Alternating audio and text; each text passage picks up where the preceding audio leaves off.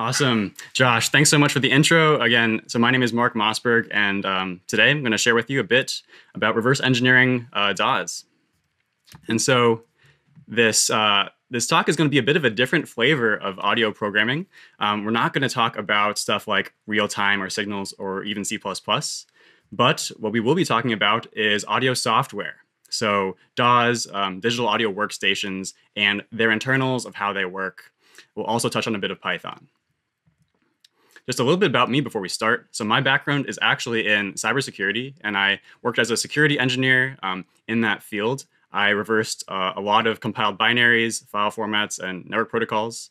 Um, aside from all that, I'm also a music producer and DJ myself. I've been using DAWs for uh, a very long time, and I've used a bunch of them. And I just really like DAWs. Um, so this project kind of draws from both of these areas. Um, and just as a fun fun fact, here's my vintage copy of uh, Live 7 that I have.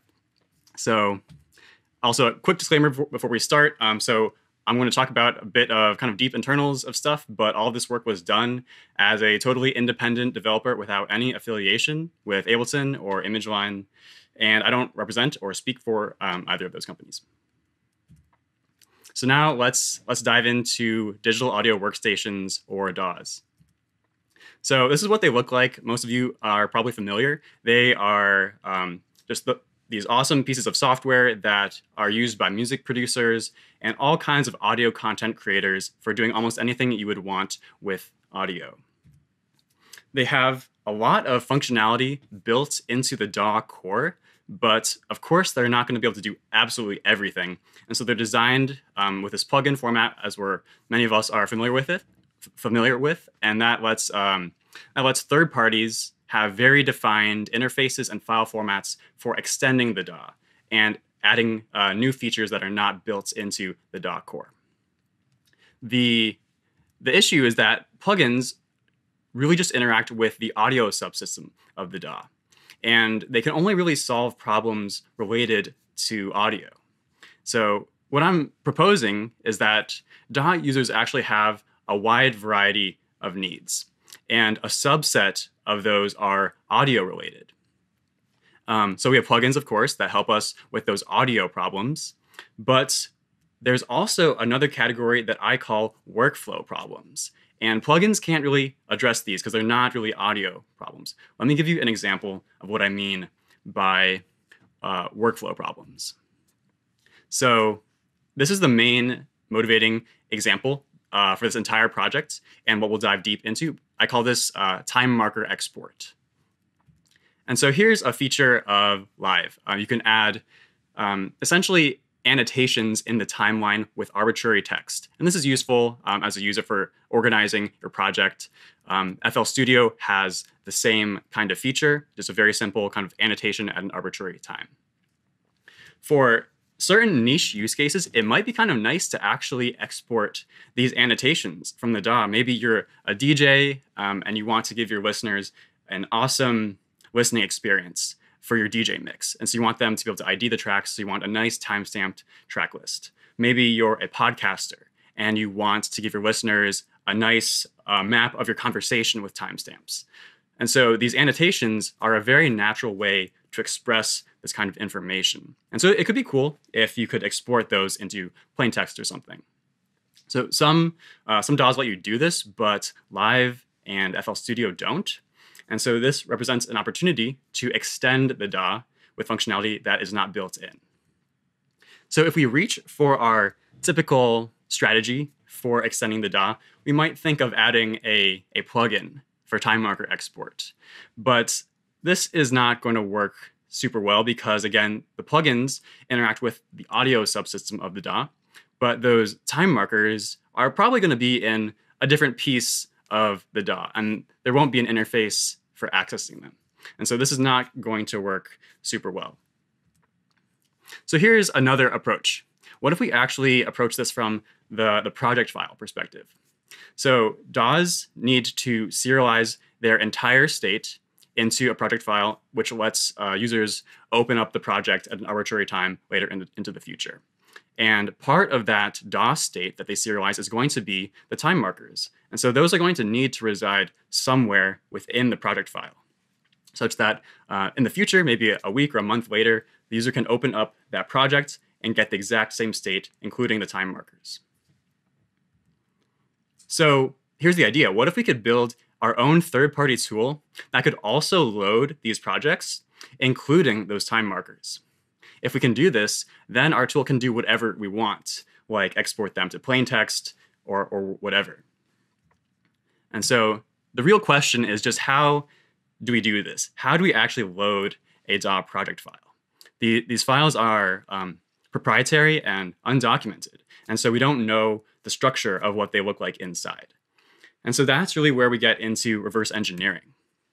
So here's my casual definition of reverse engineering. It's taking things apart to see how they work on the inside. And I think this is useful for three main uh, applications. If you understand how something works, you can fix it if it's broken or buggy. You can learn new things about it, like hidden or undocumented features, and you can extend it. If it has lim limitations or doesn't do exactly what you want it to do, you can potentially push past those limitations yourself. I think that's the most interesting application. That's, that's what we'll focus on in this talk. And so the process of reverse engineering this file is just going to look like slowly examining pieces of the file until we get a, enough of a sense of it to accomplish our task. We don't need to uh, understand absolutely everything about the project, just enough to accomplish our goal, which is extracting the time markers. And so um, before we dive deep into this, I just want to touch on a bit of prior art in the space of solving workflow problems. So there's the Live Enhancement Suite, which is by Dylan Tallchief and Inverted Silence. This is a very cool project that adds new features to Live through desktop automation, um, which is a very powerful approach. But for our use case, this is not going to allow us to extract the time markers. And so we need something different. There's another project um, at bcrypt on Twitter has some scripts for Rekordbox, including this very interesting script called Ableton to cues.py, which allows conversion between live warp markers and Rekordbox cues. And this is actually the same approach that we're going to use. It actually interacts with the project file. So both of these are tools for um, Ableton Live, though. I'm not aware of other tools uh, for DAWs like FL Studio. So we'll cover that today. So now let's actually dive deep into time marker extraction and how we're going to solve this. And so here's our goal. All we, all we want to do is just build a third-party tool that can analyze the DAW project file, extract those markers, and then we want to out them as plain, output them as plain text. It's, it's pretty straightforward. And so here's, here's the map of how I want to explain this. I think of it in terms of three different modes of increasing difficulty um, I, that I call easy mode, hard mode, and unreal mode. So easy mode is for analyzing DAW projects that do not use tempo automation. So let's recap what tempo automation is. It's a DAW feature that allows the BPM of the project to be dynamically changed over time.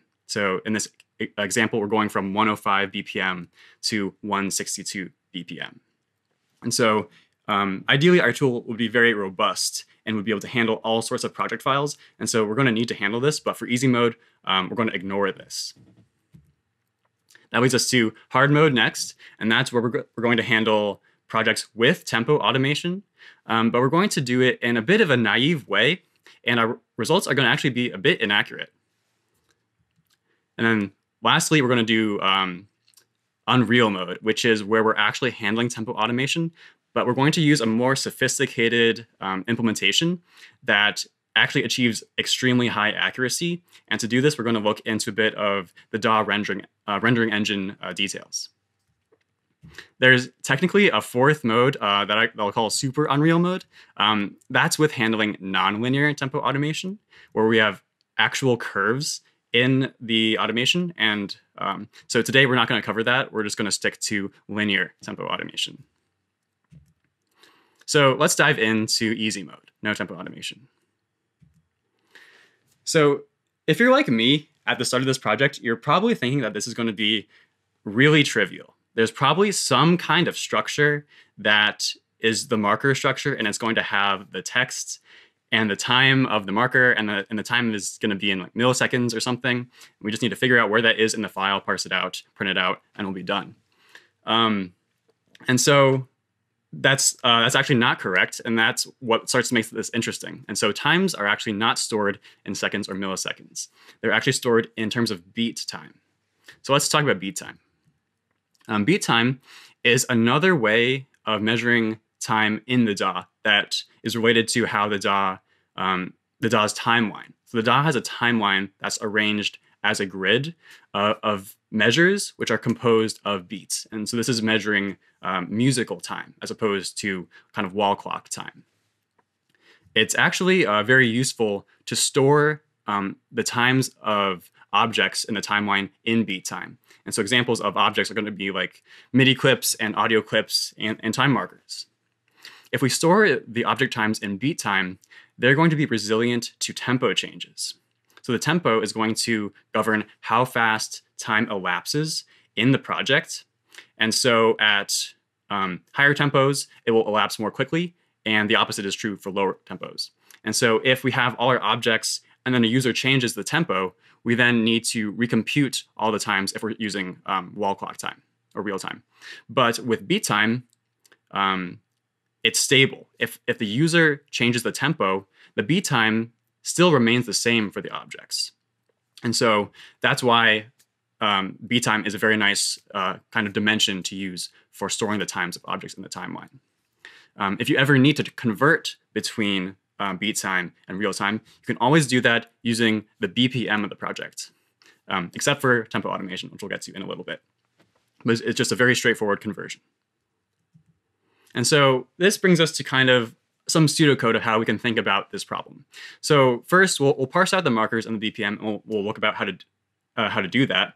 But once we have the marker information and the BPM information, it's it's pretty straightforward. We can just iterate through the markers, and then we are we do our conversion from beat time to seconds time, and then we can just print them out with whatever formatting we'd like. Um, pretty straightforward. So so here's kind of a, a shopping list of what we need from the project file for easy mode. We need to know how to get the markers out, their, their beat time, and their text. We also need to know how to get the project's tempo. So now let's actually dive into the project files and see how to how to get this. And so um, so let's start with live. And so live uh, ALS files are actually just compressed XML, which which immediately makes things a lot more easy. Um, this is because the these files are actually human readable, and we can we can uh, read through them and browse through them, and and reverse engineer that way. Um, but just because they're human readable doesn't mean they're documented though. And so that there still is some difficulty there. Um, but as far as getting the information we need, it's very straightforward. There are some locators tags uh, that correspond to the markers. And uh, if we just look into those, we can get these, uh, these time and name elements. So the time is going to have the beat time, and the name has the text. And so um, that's really it. Moving on uh, to the tempo it's also straightforward. There's a tempo tag, and we can just look at this uh, manual element and grab the tempo out of there. And so that's it for, for live. Uh, let's move on to FL Studio, where it gets a little bit more interesting. Um, so FL, FL Studio files, um, .flp, are, are not XML. They're actually um, a real um, binary format. Uh, it's raw binary, it's unreadable, uh, unhuman readable and it's it's technically not documented. Um, although there is this very interesting text file that seems to have been floating around the internet for 20 years. Um, that's from the creator, I believe, of of FL Studio that actually explains uh, quite a bit of the format. So it's very helpful. Um, but it's it's of course very old, so it, it's missing a lot of, of new parts of the format. Um, there's also some, some additional resources about parsing FLPs. And so th there's a few projects on GitHub. Um, a lot of them are very old though, and they're missing a lot of the format. And so we'll still need to do a bunch of work to um, reverse engineer the, the parts we need. So let's actually talk about the structure now. Um, FLP files are, are organized into two sections. There's a header and a data section. So the header is a very straightforward file header with a, a file signature, and it lets you um, find basically the, the data section using the header length. And then the, the data section is really where it gets interesting. It's an array of so-called event structures. And here's how you uh, parse an FLP. You use the header to find the event block, and then you iterate over every event in the event block and interpret it. So each event is going to carry one specific piece of information about the project. And I literally mean one like int or one string, stuff like that. And they each have a certain semantic meaning associated with them. And by iterating through and interpreting them all, you can construct the state of the project. So, and so here's how events work in detail. So all events start with a, a one byte ID. That's a unsigned 8-bit int from 0 to 255. Depending on where that int falls in that range, that will tell the parser how many bytes to read after that. And so you might read um, 8, um, an 8 an 8-bit int, a 16-bit int, a 32-bit int, or uh, variable length data, depending on where that ID falls within the range. So there's going to be up to 256 uh, separate events that are defined, and they again they contain information about all sorts of aspects about the project. Um, there are three specific events that we need, and this uh, these were obtained through reverse engineering. These these text names are just ones I gave it in my source code. I don't know the actual uh, names for it, but it's the marker time event, which is hex 94, which contains a 32-bit um, int, which has the, the marker beat, essentially. Um, the marker text, hex CD, which is a UTF-16 encoded string. And the tempo event, which is hex 9C, which is a 32-bit int in millibeats per minute. And so, um, again, in addition to those, there are many, many other kinds of events uh, for the project, uh, for, for this file format. So that's actually it. That's actually it for easy mode. We have everything we need. We have the markers, the beat times and text, and the tempo. We can implement our pseudocode algorithm um, just like that. So now let's move on uh, to hard mode, the next step. Uh, we're actually handling tempo automation. So just a reminder, here's what tempo automation looks like. And it's going to drastically change our approach because uh, we, we can no longer just do our nice simple conversion from beat time um, to real time. Now, actually, with tempo automation, the time is going to be manipulated. And so, uh, based on the automation segment, time is going to elapse at different speeds. Um, and so, we'll need a, a, totally different approach. And so, now here, here's kind of an abstract algorithm we can use for going from a marker to its uh, real time. We need to start at the beginning of the timeline, and then we need to go through each automation segment and compute uh, the time elapsed during that segment. We'll do this for each segment until we reach the marker, and then we'll just sum up all of those previous segments. There are some edge cases here, but this is the, the main gist of the idea. And so let's dive deeper. So we can think of automation points as being these pretty simple structures with a beat time and a BPM value. And then we can implement our, our pseudocode for hard mode. So like before, we'll parse out the markers. Um, we'll also need to parse out the automation points now. Um, we don't need the global tempo anymore because uh, it's kind of useless now that we have tempo automation. And then we'll do our simple iteration through the markers. And, and now instead of that simple conversion, now we need to insert our, our compute seconds time, which is our more advanced uh, accumulation algorithm. But other than that, um, it's, it's, it's not too much more complicated than that. The really hard part is just that implementing that algorithm. Um, and so, so here's our shopping list for hard mode. So we already know how to get the markers, but we need some more information now. Um, we need to know how to get the automation points, and we also need to know what to do with them. How do we actually compute time elapsed during a tempo automation? And so let's take a, a nice simple example uh, to start. And so let's say we have a, uh, a segment that goes from 60 BPM to 120 over four beats. Um, so this is actually just a physics one problem in disguise. This is the same thing as if someone asked you if an object accelerates from one meter per second to four over four seconds, how far does it travel? Um, the same kind of question. So to solve this, you would integrate over the domain. Um, and the units are all going to work out um, because the seconds cancel out when you multiply um, the two axes. And so you get meters. Um, it's it's it's similar but not quite the same for BPM. And so we can't actually integrate the the BPM curve from 60 to 120 over four beats uh, directly. And this, this is because those units are actually not going to work out. If we if we multiply beats per minute by by beats, we get beats squared per minute, which doesn't uh, doesn't make sense. Um, so we actually need to take that beats per minute and and invert it into minutes per beat uh, time. And while we're at it, uh, we'll actually convert to seconds per beat. So we'll get a nice output in seconds if we do this. So once we have um, so once we have that seconds per beat, um, we'll go ahead and integrate it. So the general approach is going to be construct the BPM function for the curve, um, convert it to its seconds per beat form, and then integrate that seconds per beat function.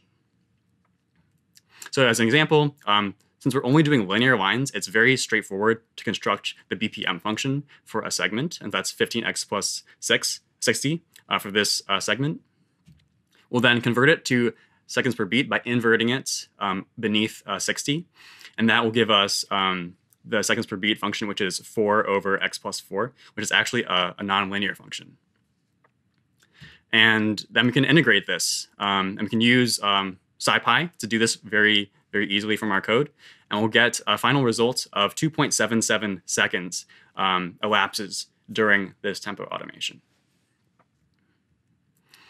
And so that's that's um, that's how to compute elapsed time during a linear tempo automation. So the last point we need is um, is the automation points. So let's look into the files again. So say we have a, a live set with two automation points. Um, this is what it looks like. And so we go into the XML again. Um, we'll go back to that tempo tag from before, but this time we'll look for something called the automation target ID. We'll save that for later. Then we'll go to this master track XML um, elements and go inside and look for its automation envelopes. We'll keep going into the XML tree and we'll look for the particular automation envelope that has this pointee ID value that matches the automation target of the tempo. This is how um, the various uh, automations in the master track get kind of routed to different parameters. So once we find the envelope for the tempo, we can just look into its um, events, and they're called uh, float events, and our data is right there. We have this time, which is the beat time, and the value, which is the BPM, just what we needed.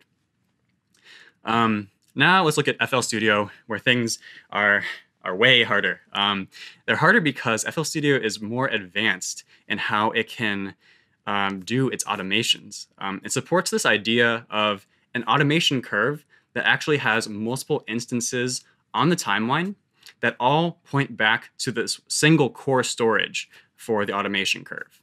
And so um, here's an example of, of this where we have a bunch of these core storage uh, curves on the left, and they have multiple instances on the timeline on the right. And so those that core storage uh, is called channels, and those instances on the timeline will be called playlist items or clips. Um, and so here's how we need to approach getting the automation for this. Um, so here and, and so here are those um, kind of abstract structures. And so a channel can be thought of as having an ID. It has a destination and parameter ID to kind of route it to a, a certain parameter, and then an array of automation points. It's the core storage for those points. Then we have the playlist item, which has a channel ID to point back to the channel, and then a start beat and a length that describes its position in the timeline. And so here's how we're going to do this. So our first step is we're going to parse out all of the channels and all playlist items, um, even the ones that aren't relevant to tempo automation, because there's other kinds of automations. Um, and so we'll use a bunch of events for this. We'll use the channel new, hex 40, automation channel, hex uh, E3, automation data, hex EA, and playlist items, uh, hex E9 to parse all of this information. Um, next, we'll, we'll filter out um, the automation channels we don't want. And so um, we'll do this using the master track ID, which is hex 4000, and the tempo parameter, which is hex 5. And again, all these, all these hex numbers um, came about as part of the reverse engineering process and looking into these um, files. Once we filter out those channels, we can filter out all the playlist items that don't matter um, using the channel IDs of the automation channels. The next step is to render the playlist items points. And so what this means is we need to take those those points in the core storage and actually resolve them into the global timeline space. This is because those those points in the core storage, um, their positions are not stored as uh, as beat times; they're stored as offsets from the start of the clip because that one um, core storage needs to be kind of re- relocated to multiple places in the timeline. Here, here's an example. Say we have a channel with uh, with three points. Um, they might be at plus two, plus 10, and plus 14 from the start of the clip. Um, and we have two um, playlist items that start at 10 and 60. We need to resolve those points um, offsets against the start times of each of those clips. And this takes those, um, those three um, kind of abstract points and renders them into the actual six points that exist in the timeline. So we'll do this for every single channel. And then the last step is we need to merge them all into one coherent um, automation stream for for the whole timeline.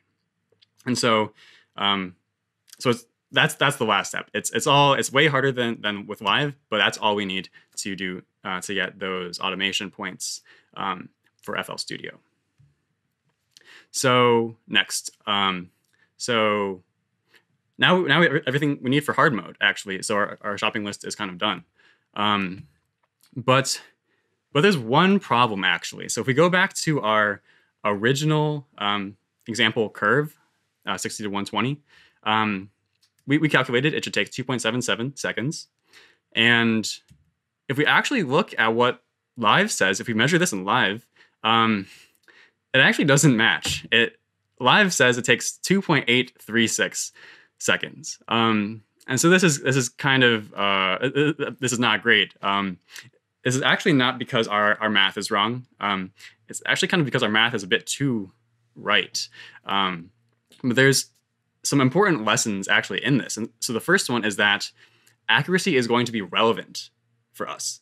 Uh, this project is not just simply extracting static data from the file and printing it out. We're actually doing a lot of recomputation and math. And so, based on our implementation, we might actually have higher or, or lower accuracy. The, the second lesson is that accuracy is defined by the DAW.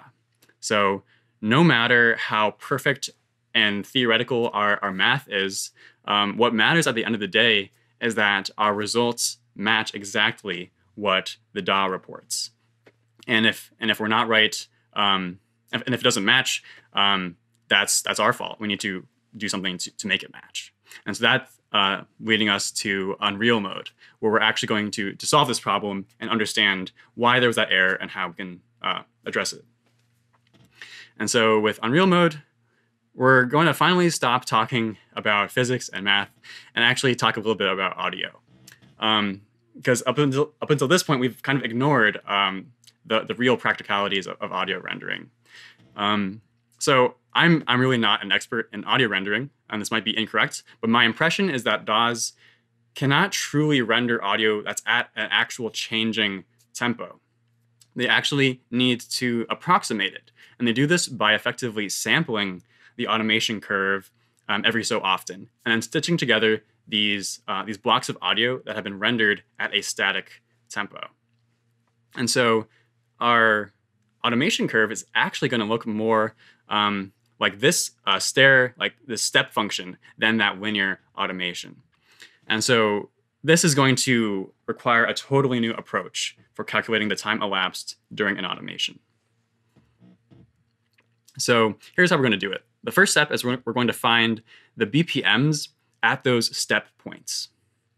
Next, we'll convert those BPMs to their SPB form, those points along the SPB function. We'll then construct the SPB stepwise function and then integrate this. So this is actually going to be the time elapses uh, during that automation adjusted for how the DAW works. But in order, and, and so all that math is, is actually very straightforward. It's just, it's just some you know, algebra and arithmetic. But in order to implement it, there's this one key parameter that we're missing, and that's the tempo quantization, which is basically how often is the DAW sampling the automation curve. This is a implementation detail of the DAW. It is not documented as far as I've seen, and it is not stored in the project file as far as I know.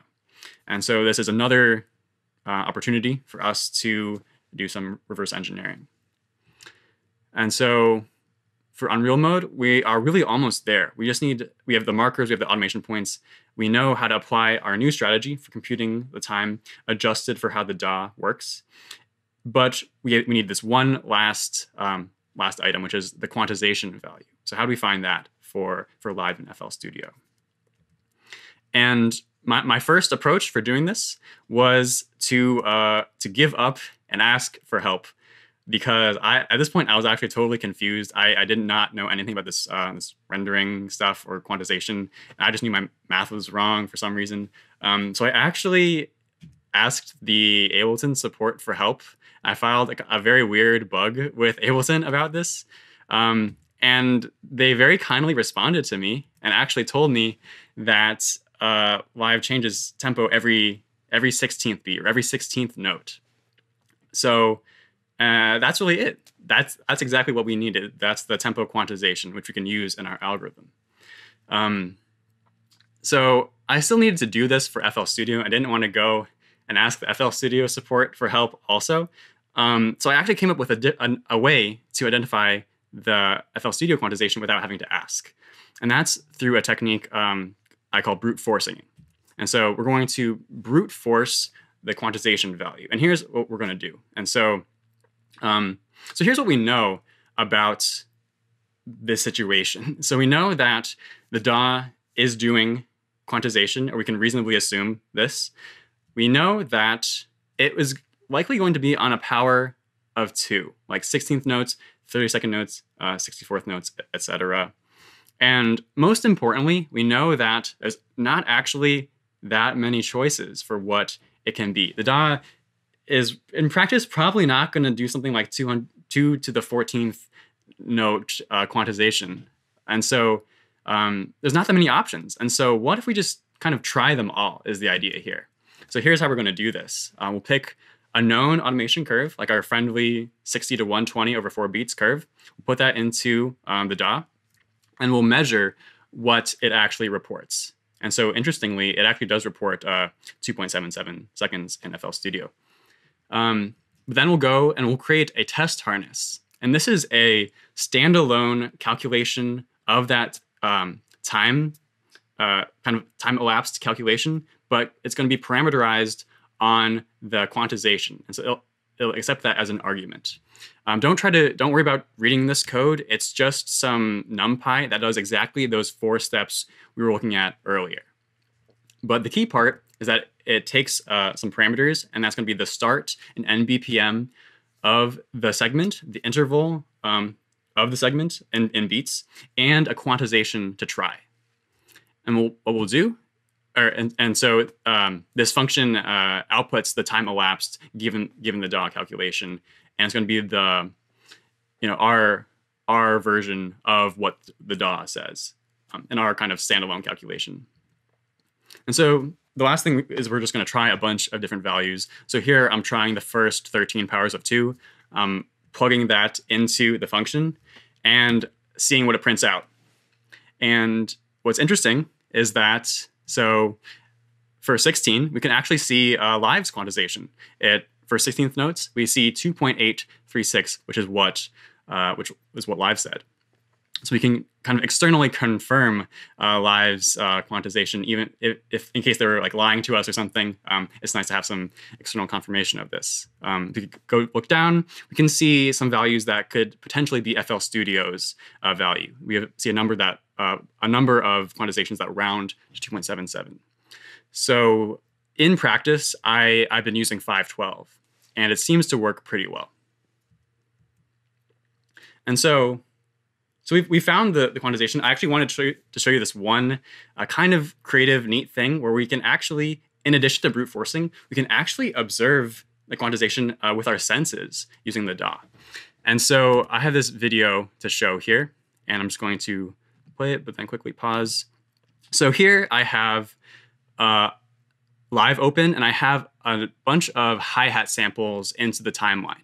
The BPM is super short, and the color transitions are on 16th notes. So all those notes within one color are within a 16th note boundary. Towards the bottom of live, I have some tempo automations. And towards the last two, they ramp up really sharply, going from 20 to 1000 BPM. And so in practice, if we were to play this, we would expect to hear some kind of ramping up in the, the frequency of how fast the hi hats are playing because the tempo is ramping up. But I'll, I'll just play the clip.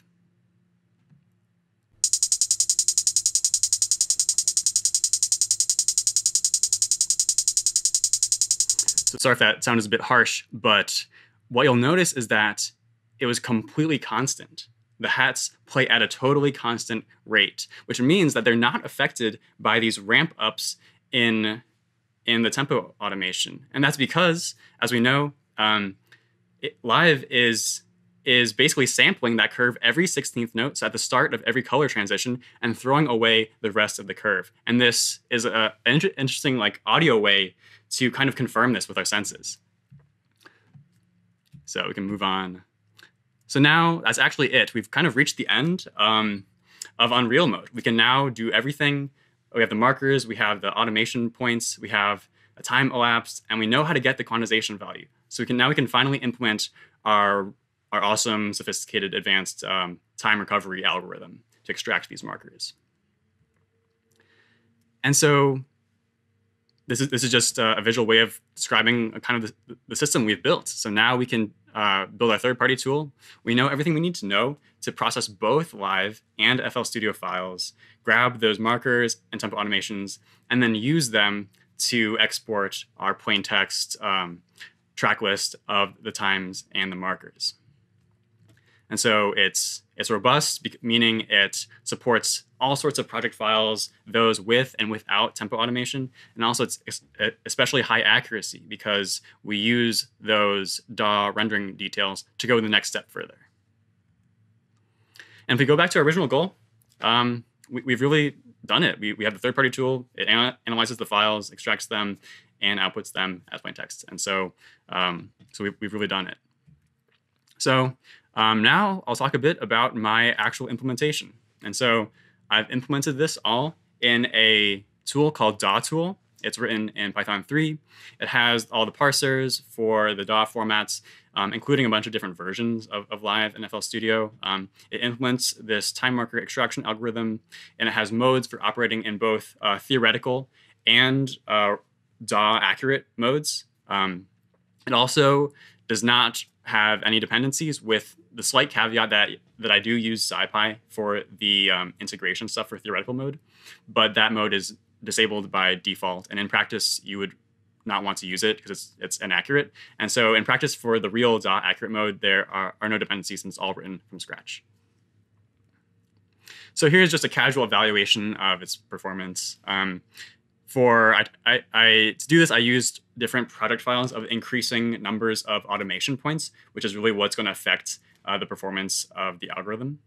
And we can see that for projects ranging from 10 to 1,000 automation points, it can all process them in uh, on the order of 200 milliseconds. We can add many, many more automation points if we want to really get crazy with it. So with uh, 10,000 automation points and 100,000 automation points, then we start to see some exponential behavior. It takes about five seconds to process um, this file with 100,000 points. But to be honest, the the DAWs don't work well at that point anyway, and so that's not no one no one would really do that. And so it's just a, it's a, it's like a stress test. Um, so now about the accuracy, and so so in general, the results are extremely accurate for most of those normal use cases. Um, you know, it's going to be down down to the millisecond or down to the um, centisecond for, for FL Studio because it doesn't show as much um, precision on the, on the numbers. But in general, it's totally accurate. But under some stress tests, it is possible to actually observe a bit of error. And so for live under stress tests, I've observed about a millisecond of error accumulate. Um, so here's some pictures. So here's actually that live file with 100,000 automation points. This is this is what it looks like. Um, there's some interesting visual glitches. Um, and for measuring the marker at the very end, um, after any error would have accumulated a lot over time, if there was any error in that time calculation, we get um, this, this number that ends in 0.806 uh, milliseconds. And if we run uh, DAWTool on this file, we actually get exactly the same number down to the millisecond, which is really encouraging. What's what's actually kind of uh, mysterious that I don't totally understand is that for this file with only 10,000 automation points, um, it is actually possible to observe that millisecond error I'm talking about. And so I think it was just getting lucky in that previous one where the error accumulates in such a way that it doesn't get rounded or something. Um, but I just want to point out that this is one millisecond of drift over a 16 hour live set. So I'm, I'm really not too worried about it. Um, for FL Studio, um, there is a lot more error. It's about about half a second of error can potentially accumulate during a stress test. And I'm, I'm kind of blaming this on all the complexity in parsing those automation points because it's it's really tricky and there are a lot of, a lot of edge cases. Um, so here's an FL Studio project with 100,000 automation points. It's this nice big block. And um, we can measure the time in FL and the tool, and we can actually see that there is a bit of error, about half a second of error. But again, this is under a stress test. No one would actually use this. The DAWs don't work if you're doing this. Uh, this is just more for fun. Um, the point is that it, I would say this, this is very high accuracy, um, more than enough accuracy for most practical use cases. I don't think a lot of DJs are going to care that the, the results are, are milliseconds off. So now I can I can just jump in and do a quick demo of this. Um, I'll just open up Live in FL Studio and then flip my screen share over to that. Opening up now. Okay, great. So now I'm going to share. Oops. So now I'm going to share the whole screen. Okay, so we'll start over with um, with live. Hopefully you can see this. Um, so we'll start with live. So here is a kind of like a studio DJ mix I made in live entirely. I have tempo automation because I warped every track for super smooth transitions. And um, I have my time markers or, or locators at every transition and it's it's really fast and intuitive to do this because it's it's just so visual to place these markers at the right places. So we can go ahead and measure the um, this final marker, and if you look at where my mouse is towards the bottom left, Live is reporting uh, this 2716.449 number. I'll hop, hop over to my terminal where I have DAWTool uh, running, and I'll just run it here. Let's see, And we'll see that this last uh, marker, it says 2716.449. And so it down to the millisecond, it was, it was accurate. We can use the verbose um, flag to actually get some debugging information, which is interesting to look at. And so here it's dumping the entire timeline that it parsed out, uh, including all those markers. You can see the marker objects in there and their, their times um, and their texts. And we can also see um, all the automation points that are parsed out. And we can also see uh, the, the results of those incremental time calculations. So it does this for the whole timeline, dumps the timeline. Um, you, you, can also do this with the, the theoretical mode. And so we'll actually see that if we do this with theoretical mode, um, it's off a little bit. You know, it's 449 was the precise uh, result, but here we're getting 421. So we're seeing that inaccuracy um, come into play. So now I'll just quickly jump over to FL Studio. We'll show the same thing. Um, so here is, uh, I actually don't really know how to use FL that well, so I didn't make a DJ mix in it. But um, here's a kind of representative um, set uh, or set of automation points in it, and we have this um, ADC marker all the way at the end, and we measure its position um, as precisely as we can. We're seeing this 2427.90 uh, uh, number. And so we can run dot DAWTool on this FLP uh, normal. Um, and we have only one marker, so it just prints out, um, yeah, 2427.90 um, one. Some extra precision there. And so, yeah, it's getting it down to the uh, centisecond. Um, so that's just, and it, we can also just, we can, you know, we can move the marker a little bit down, save the file. Uh, oops. Oh no. Um, thanks. I don't know how to get rid of that because I don't know how to actually know how to use FL Studio that well, but I'll switch back over to, to live um, and we'll just move this marker over here. Um, so again, we'll, we'll, move this thing, you know, a, a, bit over. We'll save the file. We'll remeasure it. Now it's saying uh, .938 um, as the time. We'll go back to this command line um, saying .938 is what we see for the last marker. And so, so it's actually working, um, recomputing the time very accurately. So now I'll just hop back over to the slides. Um, okay, great. So I'll just wrap up now. Um, basically, yeah, so what, what have we been seeing? The idea is that DAW users have all sorts of different needs. Um, they have audio needs, and those are solved very well with plugins, but they might also have workflow problems that plugins cannot address. So that's why we can reach for techniques like project file manipulation, um, like we saw today with DAWTool, or um, for desktop automation like the Live Enhancement Suite uses um, to solve these workflow problems. And specifically, this time marker exporter we built today is just one example of this general class of techniques that I call project file manipulation. But my question for you is, is what other uh, tools can we build using this approach? Um, is there anything else that's interesting or cool that we can do with it? Um, so just some broader context, I've been running this tool as a hosted uh, free web app that anyone can use. And I've been running it since about March of this year. And what's actually kind of interesting is that people actually use it. Um, we hit 700 uploads uh, recently, which is pretty neat. A, a, few people generally use it every day, which I think is is cool because this is just such a niche use case, but there are still really people out there that benefit from it. So I think this this actually shows that there is this really interesting position in the ecosystem for these kinds of tools. I really think that it makes sense to have these third-party tools that implement possibly niche features that maybe maybe Ableton doesn't want to develop and maintain and support this random feature that 100 people are going to use. But that doesn't mean those people need to go with their problem unsolved. So I really think this is, this is a win for everybody because um, the DAW developers don't need to maintain random code. The third-party people can have fun building whatever awesome tools they want, and the users can have their their problems uh, solved, um, even if it's not worth the DAW developers' time. Um, here are just some screenshots from track lists I've seen out in the wild of people using timestamps. Um, people doing, DJ mixes. Um, this person was selling beats on SoundCloud and put all their beats in one track. And so they timestamped those to let people know, you know, how to reference the beats and specify their collabs.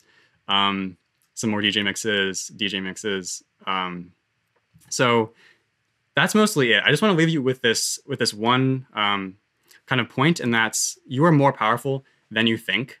If you if the software you use has limitations, um, those are not necessarily set in stone. If the software you use is broken or buggy or doesn't exactly do what you want, it might be possible for you to just on your own figure out how to bypass those limitations and solve your problem without having to wait for the developers.